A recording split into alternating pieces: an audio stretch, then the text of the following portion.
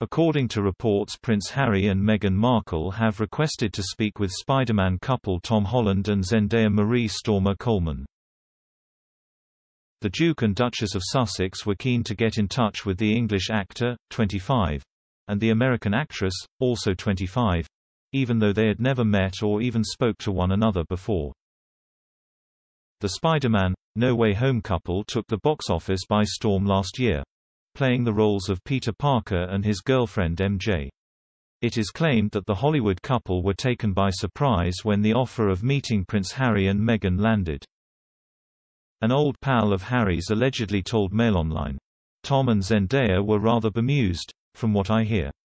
Tom had never met Harry or spoken to him in his life, so didn't know what they wanted.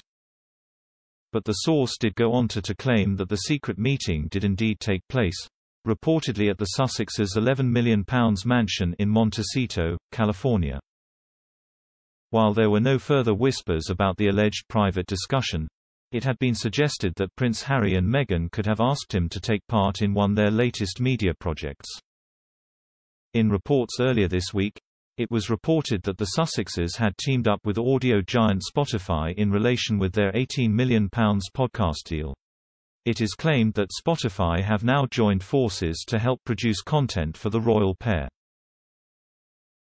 With the music streaming services provider now on board, it is thought that Harry and Meghan could be looking for a major Hollywood couple to join them on their podcast. Prince Harry and Meghan originally pledged to promote shared values on their show but have so far only managed to produce one show.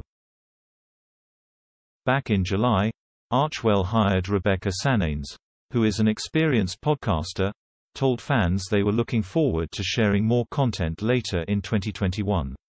Spotify had reportedly expected the first complete series from Archewell Audio in 2021.